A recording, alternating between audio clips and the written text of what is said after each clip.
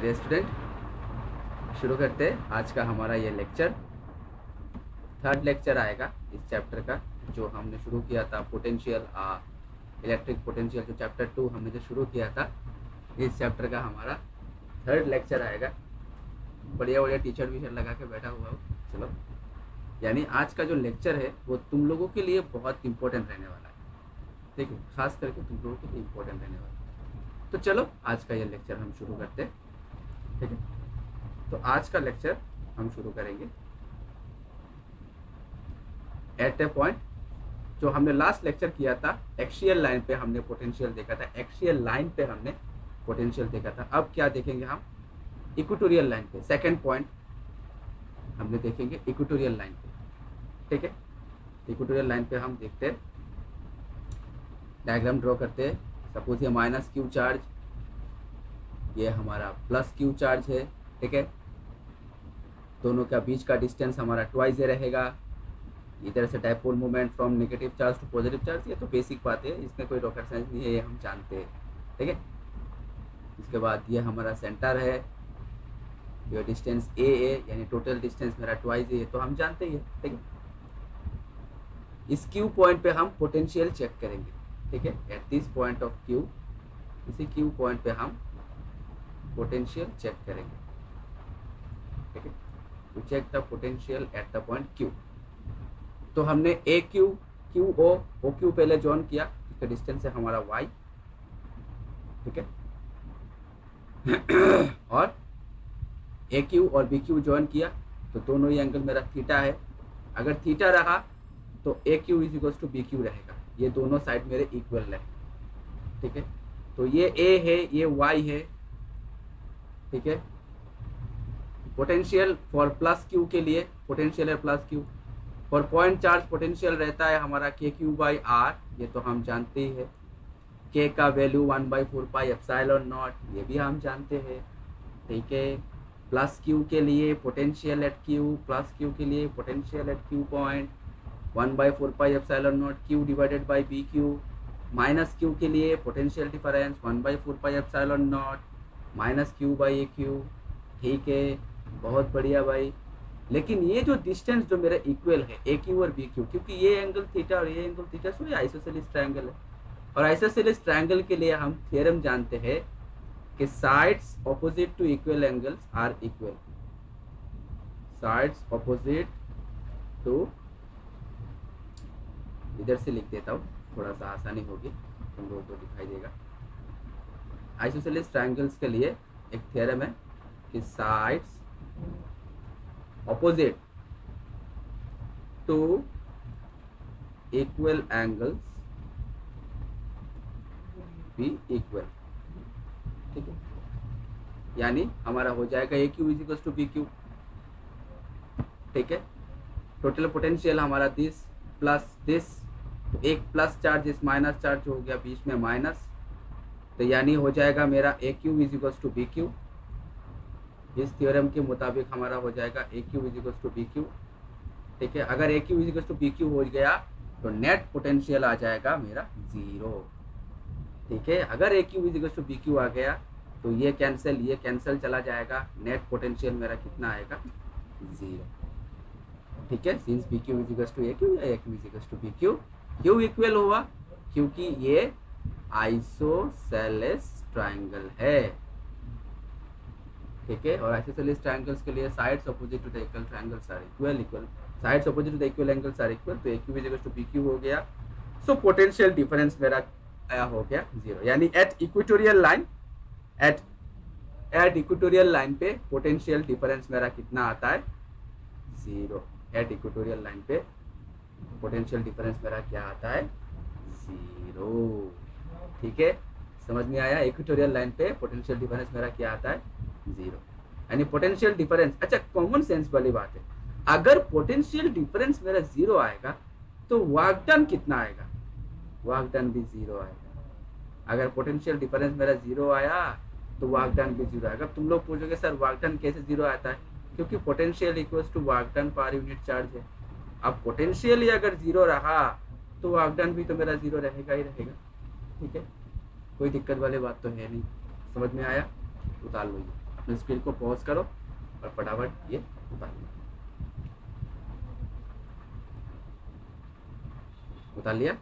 चलो next the net electrostatic force net electrostatic force क्या दिखाई दे रहा है? Net electrostatic force at a potential व net force net electrostatic potential net electrostatic potential at a point on the electric field the net electrostatic potential at a point due to electric field due to electric dipole at equatorial line is zero वही ऊपर वाला बात जो है, कोई नीचे language करके लिखा यानी equatorial electric potential at equatorial line will be zero ठीक है?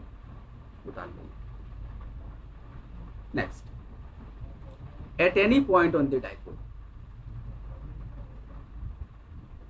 at any point on dipole ठीक है? तो यहाँ पे थोड़ा सा डायग्राम दिखाई नहीं दे रहा है। मैं थोड़ा सा कलर चेंज करके मैं डायग्राम अच्छी तरह से ड्रॉ करके देता हूँ। ठीक है? ये माइनस क्यू चार्ज है। ये प्लस क्यू चार्ज है। ये मेरा सेंटर ओ ठीक है? ये ए पॉइंट है। अगर किसी को दिखाई नहीं दे रहा ये ए पॉइंट है और ये बी पॉइंट है। ठीक है? अब यहाँ पे किसी एक पॉइंट एनी पॉइंट ये कुछ भी एक पॉइंट हो सकता है एनी पॉइंट ठीक है? यहाँ यहाँ पे एक पॉइंट रखा गया है पी यहाँ पे एक पॉइंट रखा गया है पी ठीक है? अच्छा। तो ये आर वन है, ये r one minus r two है, ठीक है? ये आर वन ये डिस्टेंस मेरा आर वन है, ठीक है? ये डिस्टेंस मेरा आर वन है, ये डिस्टेंस सपोज़ यहाँ पे अगर मैं कुछ डिस्टेंस दे दूँ सपोज़ डी डी दे दूँ, ठीक है? तो ये पी डी डिस्टेंस मेरा आर वन है और ये बीपी डिस्टेंस मेरा आर टू है। ये पी डी डिस्टेंस मेरा आर वन है और बीपी डिस्टेंस मेरा आर टू है। ठीक है? ओके तो और ये मेरा आर वन वेक्टर है। तो एडी डिस्टेंस क्या होगा मेरा? R one minus r two अब तुम लोग सोचोगे कि सर, ये डिस्टेंस माइनस कितना आ गया? यहाँ पे हम एज्यूम करते हैं। यहाँ पे हम एक चीज़ एज्यूम करते हैं। If if p point is very very near to very very near to d. यहाँ पे हम एज्यूम करते हैं, p point is very very near to d. अगर ये p point very very near to d हो गया तो ये बी डी सॉरी सॉरी ये P D P D distance जो है, ये पी डी डिस्टेंस जो है और बीपी डिस्टेंस जो है, दोनों मेरा इक्वल हो जाएगा। ठीक है?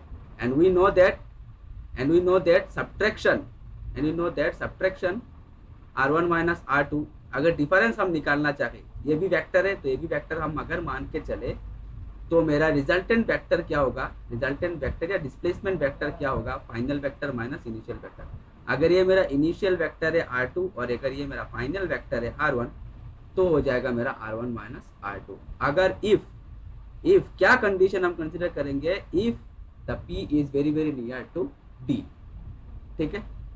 तो यहाँ पे क्या कंसिडर कर रहे हैं हम? यहाँ पे हम यहाँ पे हम क्या कंसिडर कर रहे हैं कि प्लस क्यू के लिए वी ए कितना होगा?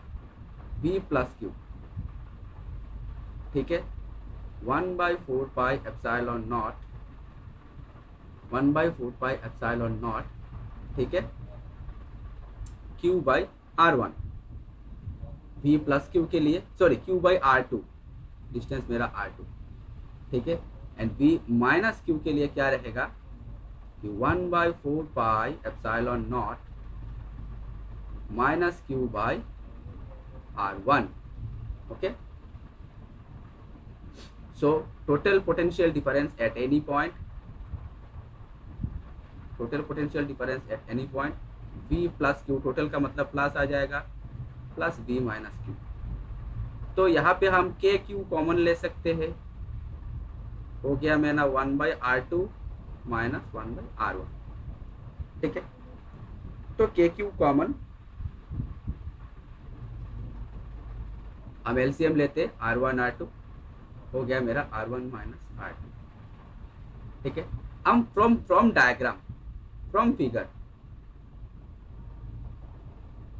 from figure figure से देखो फ्रॉम फिगर अगर ये एंगल मेरा थीटा है अगर ये एंगल मेरा थीटा है, अगर ये एंगल मेरा थीटा है तो फ्रॉम फिगर से from triangle from figure triangle ABD से ट्रायंगल एबीडी से ये थीटा है तो एंगल ए डी बी ये जो मेरा एंगल ए डी बी है, ये एंगल मेरा थीटा है तो ये एंगल मेरा 90 डिग्री हो गया, ये हो गया मेरा हाइपोटेन्यूस ए बी ये हो गया मेरा बेस और ये हो गया मेरा परपेंडिकुलर ठीक है? तो फ्रॉम ट्रायंगल एबीडी से हम लिख सकते हैं फ्रॉम ट्रायंगल एबीडी से लिख सकते हैं कॉस थीटा कॉस थीटा क्या लिख सकते हैं? कॉस थीटा क्या ये भी थीटा हो जाए तो ये भी थीटा हो जाएगा। अगर ये थीटा हो गया तो ये एंगल भी मेरा थीटा हो जाएगा सिमिलर एंगल ये एंगल भी मेरा थीटा हो जाएगा। तो हम फ्रॉम एबीडी ट्रायंगल से कॉस थीटा क्या लिख सकते हैं? कॉस थीटा इक्वल टू लिख सकते हैं कार्ली ब्राउन हेयर ब्राउन मतलब एडी और हेयर मतलब हाइपोटेन्यूस मतलब ए बी ठीक है? अब A D is equal to हम लिख सकते ए बी कॉस थीटा ठीक है? अब ए डी का मतलब डिस्टेंस मेरा r one minus r two और ए बी मतलब डाइपोल का डिस्टेंस मतलब ट्वाइस ए कॉस थीटा ठीक है? तो r one minus r two के जगह पे हम ट्वाइस ए कॉस थीटा लिखेंगे और हम एज्यूम करेंगे assuming assuming r one into r two is approximately equals to ठीक है? या फिर हम आर इक्वल्स टू आर हम पकड़ लेंगे। R one into r two r one equals to r two नहीं, छोड़ो r one equals to r two छोड़ देते r one into r two जो है, वो अप्रोक्सीमेटली इक्वल्स टू हम आर स्क्वायर पकड़ लेते ठीक है? एज्यूम करते तो हो गया मेरा k q r one minus r two के जगह पे हम लिखेंगे ट्वाइस ए कॉस थीटा ठीक है? और r one into r two की जगह पे हम लिखेंगे आर स्क्वायर ठीक है? तो के तो रह गया twice a q into cos theta नीचे मेरा आर स्क्वायर ठीक है? This is the any point expression this is the potential expression for potential due to any point of a dipole यहाँ पे हम कुछ चीज़ें एज्यूम करते हैं। फॉर दिस प्रूफ हम कुछ चीज़ें एज्यूम करते हैं।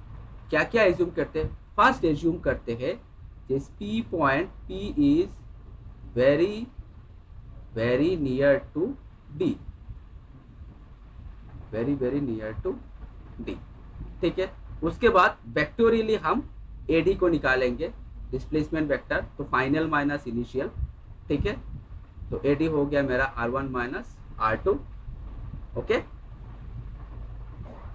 और यही से हमने ये सारे चीज़ें हमने एज्यूम किया। और एक चीज़ हमने एज्यूम किया, और एक चीज़ हमने एज्यूम किया, क्या एज्यूम किया? कि r one into r two जो है वो अप्रोक्सीमेटली हो गया मेरा आर स्क्वायर समझ में आया? तो potential for first case potential plus q की तरह one by four pi epsilon not यानी k q by r one r two for इस चार्ज के लिए माइनस क्यू की तरह k q by r one तो total potential at any point days calculation किया। R one minus r two की जगह पे हमने ट्वाइज ए कॉस्टिटा बिठा दिया। ठीक है? और r one into r two को तो हम अप्रोक्सीमेटली आर स्क्वायर पकड़ ही चुके हैं। ट्वाइज ए क्यू की जगह पे हम डाइपोल मूवमेंट पी बिठा सकते हैं। तो V any point V at any point यहाँ पे मेरे को दिखाई नहीं दे रहा है। तो वी एट एनी पॉइंट अगर इसको मैं थोड़ा सा मॉडिफाइड करके ले तो वी एट एनी पॉइंट के तो रह गया। ट्वाइज ए क्यू यानी dipole moment P k P cos theta divided by r square ठीक है? K P cos theta divided by r square अपने स्क्रीन को पॉज करो और फटाफट इसका उतार लो। ठीक है? नेक्स्ट इक्वी पोटेंशियल सरफेसेस हाँ ये बहुत ही, मैंने कहा था, ये बहुत ही इंपॉर्टेंट टॉपिक है वेरी वेरी इंपॉर्टेंट टॉपिक है, ये स्टार मार्क में दे रहा हूँ। ये वेरी वेरी इंपॉर्टेंट टॉपिक है, ठीक है? इक्वी पोटेंशियल सरफेसेस इक्वी मतलब इक्वल पोटेंशियल इक्वी पोटेंशियल मतलब इक्वल पोटेंशियल मतलब ये ऐसा एक सरफेस है, ऐसा एक सरफेस है एक ऐसा एक सरफेस है जाके एनी दो पॉइंट के बीच पे सपोज़ ये ए पॉइंट है, ये बी पॉइंट है सरफेस मतलब स्पीयर हो सकता है प्लेन हो सकता है, ठीक है? सरफेस मतलब सिलेंडर बोलो स्पीयर बोलो शीट बोलो, ठीक है? सिलेंडर स्पीयर ठीक है? शीट ठीक है? तो एनी दो पॉइंट के बीच का पोटेंशियल मेरा इक्वल है। ठीक है? सपोज़ इस ए पॉइंट का पोटेंशियल अगर वीक है ये पॉइंट का पोटेंशियल अगर वीक है तो पोटेंशियल डिफरेंस कितना होगा? ज़ीरो वर्क डन कितना होगा? ज़ीरो ठीक है ना? यानी इक्वी पोटेंशियल मतलब इक्वल पोटेंशियल वाला सरफेस इक्वी पोटेंशियल मतलब इक्वी इक्वी पोटेंशियल मतलब इक्वल पोटेंशियल वाला सरफेस यानी एक ऐसा सरफेस है, ऐसा प्लेन सरफेस है, जहाँ पे पोटेंशियल डिफरेंस मेरा इक्वल रहता है। ठीक है? तो हम डेफिनेशन देखते हैं equal equal equal potential surface का। It is a surface it is a surface at every point which potential due to charge distribution is same जो मैंने बोला है अभी। Same is called equal potential surface क्या same है? क्या same है? Potential due to charge distribution हाँ। क्या सेम है? कि सर पोटेंशियल मेरा सेम है। इसलिए इस तरह के सरफेस को हम क्या बोलेंगे? सर हम बोलेंगे इक्वी पोटेंशियल सरफेस देखो मैं अंडरलाइन करके दे रहा हूँ। ये एक ऐसा सरफेस है इट इज़ ए सरफेस एक ऐसा सरफेस है at every point of which due to the charge distribution potential is same is called equipotential surface ठीक है? अब कैसे आता है इक्वी पोटेंशियल सरफेस हम देखते हैं फ्रॉम यूनिफॉर्म इलेक्ट्रिक फ़ील्ड अगर मेरा यूनिफॉर्म इलेक्ट्रिक फ़ील्ड है फॉर यूनिफॉर्म इलेक्ट्रिक फ़ील्ड मेरा इक्वी पोटेंशियल सरफेस कैसा रहेगा? ये देखो ये देखो ये देखो। ठीक है? इक्वी पोटेंशियल सरफेस ये यूनिफॉर्म पोटेंशियल है यूनिफॉर्म इलेक्ट्रिक फ़ील्ड है यूनिफॉर्म इलेक्ट्रिक फ़ील्ड है। This is the uniform electric field this is the uniform electric field और यूनिफॉर्म इलेक्ट्रिक फ़ील्ड के लिए मेरा सरफेस कैसा रहेगा? शीट ठीक है? यानी शीट के इस पॉइंट में, ये शीट और ये शीट के बीच का पोटेंशियल डिफरेंस मेरा क्या रहेगा? ज़ीरो रहेगा। क्योंकि ये शीट के दोनों पॉइंट या फिर इस शीट पे भी, किसी भी दोनों पॉइंट के पोटेंशियल डिफरेंस मेरे ज़ीरो रहेंगे। ठीक है? तो फॉर यूनिफॉर्म इलेक्ट्रिक फ़ील्ड ये रहता है मेरा, ये इलेक्ट्रिक फ़ील्ड मेरा यूनिफॉर्म है। ये इलेक्ट्रिक फ़ील्ड मेरा यूनिफॉर्म इलेक्ट्रिक फ़ील्ड, ठीक है? यूनिफॉर्म इलेक्ट्रिक फ़ील्ड के लिए कैसा रहेगा? ये देखो ये देखो ये देखो ये देखो, ठीक है? V one V two V three हमने पकड़ा है suppose V one V two तो पोटेंशियल डिफरेंस मेरे सेम रहेंगे प्लेन इक्वी पोटेंशियल सरफेसेस ठीक है? क्या नाम देंगे हम इनका? प्लेन इक्वी पोटेंशियल सरफेसेस ठीक है? और पोटेंशियल डिफरेंस मेरा क्या रहेंगे? ज़ीरो रहेंगे, ठीक है? फॉर एन आइसोलेटेड चार्ज यानी एक चार्ज जो है, वो रुका हुआ। किसी भी एक पॉइंट चार्ज आइसोलेटेड चार्ज मतलब पॉइंट चार्ज आइसोलेटेड चार्ज मतलब पॉइंट चार्ज ठीक है? आइसोलेटेड चार्ज मतलब पॉइंट चार्ज तो पॉइंट चार्ज के लिए इक्वी पोटेंशियल सरफेस कैसा रहेगा? हम इमेजिन कर सकते हैं एक गोसियान सरफेस यानी स्फीयर हम इमेजिन कर सकते हैं एक गोसियान सरफेस ठीक है? ये देखो सपोज़ ये एक आइसोलेटेड चार्ज है, यानी एक पॉइंट चार्ज है। इसके चारों ओर इलेक्ट्रिक फ़ील्ड ऐसे रहेंगे आउटवर्ड डिरेक्शन पे क्यों आउटवर्ड रहेंगे? क्योंकि सर ये पॉजिटिव चार्ज है, ये प्लस क्यू चार्ज है? पॉजिटिव चार्ज है और पॉजिटिव चार्ज के लिए इलेक्ट्रिक फ़ील्ड मेरे आउटवर्ड डायरेक्शन पे रहते हैं। तो सरफेस कैसा रहेगा? सरफेस रहेगा स्पीयर ये देखो सरफेस रहेगा स्पीयर सरफेस रहेगा मेरा स्पीयर रहेगा, ठीक है? तो स्पेरिकल इक्विपोटेंशियल सरफेस यानी uniform electric field uniform electric field के लिए मेरा इक्विपोटेंशियल सरफेस कैसा रहता है? प्लेन सरफेस रहता है मेटल शीट रहता है सब कुछ मेटल शीट पकड़ लो या फिर प्लेन पकड़ लो। प्लेन सरफेस ठीक है? प्लेन सरफेस और आइसोलेटेड चार्ज यानी पॉइंट चार्ज के लिए this is an point charge point charge के लिए इलेक्ट्रिक फ़ील्ड मेरे आउटवर्ड डायरेक्शन पे इलेक्ट्रिक फ़ील्ड मेरे आउटवर्ड डायरेक्शन पे इलेक्ट्रिक फ़ील्ड मेरे आउटवर्ड डायरेक्शन पे। और इसके लिए मेरे कैसा रहेंगे इक्वी पोटेंशियल सरफेस के साथ स्पेरिकल रहेंगे इसके लिए मेरे इक्वी पोटेंशियल सरफेस रहेंगे स्पेरिकल ठीक है? स्पेरिकल सरफेस ओके इसके लिए मेरे रहेंगे स्पेरिकल सरफेस यानी स्फीयर के सपोज़ इस पॉइंट पे और इस पॉइंट का पोटेंशियल डिफरेंस मेरा ज़ीरो क्यों ज़ीरो है? क्योंकि यहाँ का जो पोटेंशियल है और यहाँ का जो पोटेंशियल है तो V one equals to V two equal potential that is why it is called equipotential surface यानी इसी सरफेस के ऊपर किसी भी एक दोनों बीच दोनों पॉइंट के बीच के पोटेंशियल डिफरेंस ज़ीरो है। डिफरेंस ज़ीरो मतलब सारे के सारे पोटेंशियल मेरे इक्वल है। बात समझ में आया? कोई दिक्कत? सर, कोई दिक्कत वाली बात नहीं। ठीक है? कुछ रूल्स देख लेते हैं। कुछ, हम properties of equi potential surface क्या क्या है? प्रॉपर्टीज़ देख लेते हैं। क्या क्या प्रॉपर्टीज़ है इक्वी पोटेंशियल सरफेस के? Number one no work done is moving यानी वर्क डन ज़ीरो ओबियसली अगर पोटेंशियल डिफरेंस अगर मेरा ज़ीरो रहेगा तो वर्क डन भी मेरा ज़ीरो रहेगा। ठीक है, यही बोला गया है। अगर पोटेंशियल डिफरेंस ज़ीरो तो वर्क डन ज़ीरो इसी यही बोला गया है, एक नंबर पे। दो नंबर पे क्या बोला गया है? यही इसी का mathematical potential difference work done per unit charge अगर पोटेंशियल डिफरेंस मेरा ज़ीरो रहता है ए पॉइंट में पोटेंशियल डिफरेंस सपोज़ पकड़ा वी है दोनों वी वी तो डिफरेंस ज़ीरो तो work done zero work done per unit charge charge तो ज़ीरो नहीं होगा। तो इधर से वर्क डन क्या होगा? वर्क डन ज़ीरो देखिए, जो ऊपर वाला जो लाइन मैंने शॉर्टकट में दिया दिया है, ये लाइन यहाँ पे थोड़ा सा इलाबोरेटली दिया गया है। यानी अगर पोटेंशियल डिफरेंस अगर मेरा ज़ीरो है, क्यों पोटेंशियल डिफरेंस ज़ीरो क्योंकि इक्वी पोटेंशियल है। ठीक है? क्योंकि ये इक्वी पोटेंशियल है। और इक्वी पोटेंशियल सरफेस में पोटेंशियल डिफरेंस मेरे पोटेंशियल मेरे इक्वल रहते हैं। और पोटेंशियल इक्वल रहने के कारण पोटेंशियल डिफरेंस जो है, वो मेरे ज़ीरो हो गए। और पोटेंशियल डिफरेंस जब ज़ीरो हुआ तो वर्क डन भी मेरा ज़ीरो हो गया। ठीक है? नेक्स्ट क्या है? The electric field is always perpendicular to the element dl of the equipotential surface suppose suppose ये सरफेस है सपोज़ अगर मैं प्रीवियस स्लाइड के बारे में अगर मैं चर्चा करूँ। प्रीवियस स्लाइड के बारे में अगर मैं चर्चा करूँ।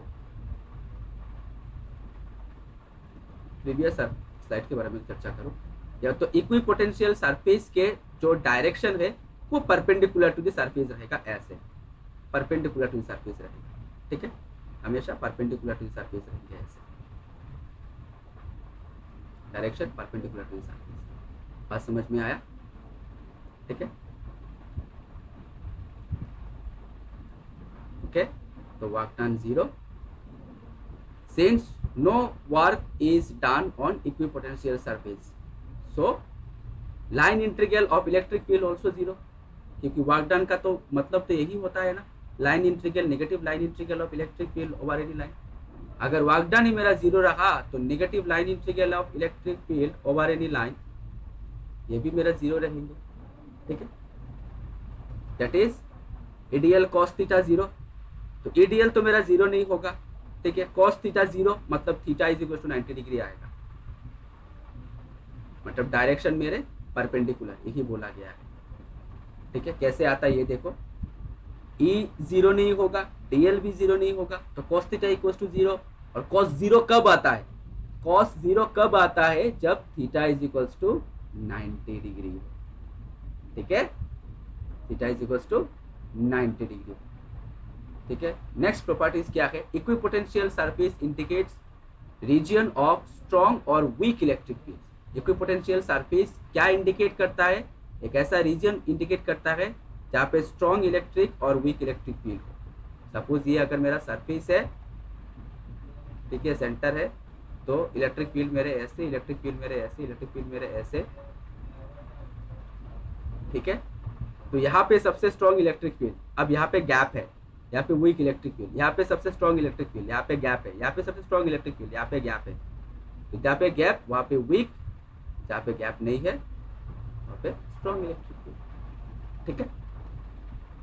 Electric field is defined as the negative potential gradient ये हम प्रूव करेंगे। ये अगले लेक्चर पे हम प्रूव करेंगे। Electric field defined as the negative potential gradient यानी electric field is equal to minus d V by d r या d V by d r ठीक है? Electric field equal to minus d V by d r ये देखो by d V by d r यही ये ये हम third lecture पे हम प्रूव करें। ठीक है? और d r equal to this since d V is constant ठीक है? V zero potential difference zero potential difference zero तो v का डिफरेंशिएशन क्या आएगा? कांस्टेंट आएगा। क्योंकि कांस्टेंट का डिफरेंशिएशन मेरा ज़ीरो होता है। ठीक है? dv itself is a constant तो v क्या होगा मेरा? ज़ीरो ही होगा। ठीक है? सॉरी dv क्या होगा मेरा? कांस्टेंट होगा। V ज़ीरो है। पोटेंशियल डिफरेंस मेरा ज़ीरो है। तो dv इटसेल्फ क्या हो जाएगा? कांस्टेंट हो जाएगा। Since dv is constant on equipotential surface so so d r क्या हो जाएगा? Inversely proportional to one one by यानी इलेक्ट्रिक फ़ील्ड जितना स्ट्रांग होगा डिस्टेंस उतना घटता जाएगा। जहाँ पे इलेक्ट्रिक फ़ील्ड स्ट्रांग है, वहाँ पे डिस्टेंस मेरा घटता जाएगा। ठीक है? If E is large d r will be small यही मैंने बोला। इफ़ ई इज़ स्ट्रांग और large d r will be small that is the separation of equipotential surfaces will be smaller ठीक है? यानी इक्विपोटेंशियल सरफेस की जो separation है सपोज़ ये एक मेरा सरफेस है, ये एक मेरा सरफेस है इन दोनों सरफेस का बीच का जो गैप है ना वो बहुत ही छोटा है स्मॉलर ठीक है बहुत ही छोटा है। Two equipotential surfaces never intersect दो इक्विपोटेंशियल सरफेस कभी भी इंटरसेक्ट नहीं करते। Two equipotential surfaces never can can not be intersect ठीक है?